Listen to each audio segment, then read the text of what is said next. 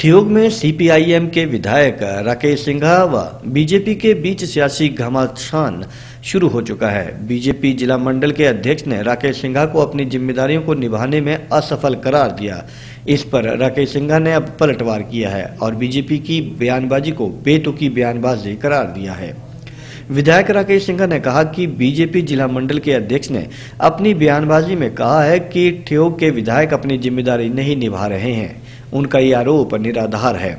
BJP के लोग ये साबित करना चाहते हैं कि वे काम नहीं कर पा रहे हैं। उन्होंने कहा कि ठियोग में पूर्व के विधायकों के समय की योजनाएँ भी प्राथमिकता तक ही सीमित रहती थी, लेकिन धरातल पर कुछ नहीं हुआ है। उनकी डीपीआर तक तैयार नहीं हो पाई थी। सिंघा ने कहा कि अब वे योजनाओं को प्राथमिकता के आधार पर डीपीआर तैयार होने के बाद प्राइवेट कंसल्टेंट के माध्यम से धरातल पर उतारा जाएगा। बीजेपी केवल दुष्प्रचार कर लोगों को गुमराह करने की कोशिश कर रही है। उन्होंने कहा कि पिछले तीन वर्षों में जो भी कानून सरकार ने बनाए हैं, वो पूरा सार्वजनिक क्षेत्र को निजी हाथों में सौंप दिया गया है।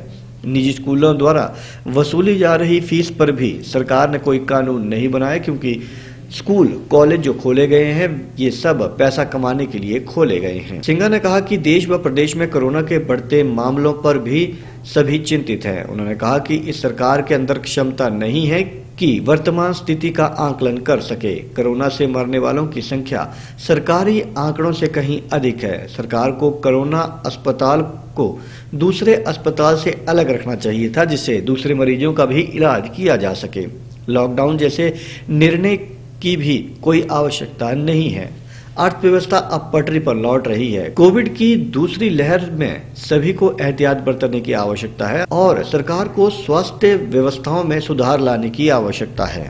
आज ये प्रेस वार्ता इस विषय में की गई कि पिछले दिनों में भारतीय जनता पार्टी के जो आपके जिला के जो अध्यक्ष है, माननीय अजय श्याम जी, उनने कुछ इस तरीके से प्रेस सम्मेलन के ज़रिए बात को रखा जिससे कि लोगों में भ्रम पैदा हुआ।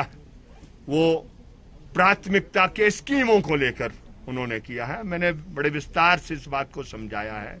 प्राथमिकता सिर्फ़ एक चीज़ होती है, जिसकी डीपीआर जब बन जाएगी, वो ही प्राथमिकता के लिए जाता है और उसको भी नाबार्ड से फाइनेंस अपने आप में नहीं हो जाता है। नबार्ड की भी अप्रूवल चाहिए होती है। हमने हर विभाग को आदेश दे दिए हैं और उनको हमने कहा है कि हम सहयोग भी करेंगे। और अगर ज़रूरत पड़े, जिसके लिए मैंने काम भी शुरू कर दिया है प्राइवेट कंसल्टेंसी डीपीआर को बनाने के लिए भी काम कर दिया है और वो जिस समय तैयार होगी, उसको हम शामिल कर कर वो क्या कहते हैं, उसमें कर देगा। तो इसलिए कोई ऐसा ठियोग की जनता ये ना महसूस करे कि हम उसका सिर झुकने देंगे। ठियोग और कमारसन की जनता अपना सिर ऊँचा चला के कहते चले, क्योंकि उनका जो नुमाइंदा है, वो सबसे बेहतरीन क्या कहते अपने आप को साबित करेगा, कुर्बानी भी देगा और उनके साथ हर दुख तकलीफ़ में खड़ा होने का वो प्रयत्न करेगा। दलित है, गरीब है, महिला है, उसकी पीड़ा में हम शामिल क्या कहते रहेंगे। तो इसमें, और ये भी मैंने तथ्य दिए हैं कि पीडब्ल्यू की रोड्स का आया, विधानसभा में क्वेश्चन उठाया गया, ये हमारे माननीय विधायक महोदय में तो उसमें शिमला जिला में वन ऑफ़ दी हाईएस्ट पैसा है और काम चल रहा है कि जो वो है। मैंने पानी की स्कीम का बता दिया, सबसे बड़ी हिमाचल प्रदेश में जो पानी की स्कीम है, वो हमारे चुनाव हल्के में क्या चल रही है, और समय में हम बनाकर उसको पारित करेंगे। ये भी मैंने कह दिया कि जो बहुत ही पानी की स्कीमें लंबे समय के लिए बीमार पड़ी थी, उसकी बीमारी भी दूर की, जो बीमार थे, उनको भी ठीक किया और उसके ज़रिए पानी को उपलब्ध करने का।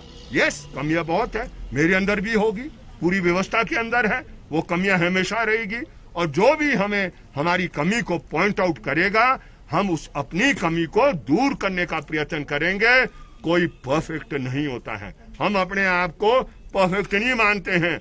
यहाँ तो भगवान भी क्या कहते परफेक्ट नहीं होता है। उसमें भी कमी रह जाती है। तो हम तो इंसान है, हमारे अंदर छत्तीस कमी होगी, लेकिन इच्छा शक्ति में कोई कमी नहीं होगी। लोगों में मदद करने की कोई कमी नहीं होगी।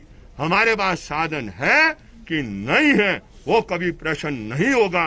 क्योंकि जनता के लिए हमेशा हमारा दरवाज़ा और हमारे क्या कहते साधन उनके लिए खुले रहेंगे, जिससे उनकी पीड़ा तो हम समाप्त नहीं कर सकते हैं, लेकिन पीड़ा को निश्चित रूप से कम करने का हमारा प्रयत्न रहेगा। एक बात दूसरा है कि कोविड का दूसरा सेकंड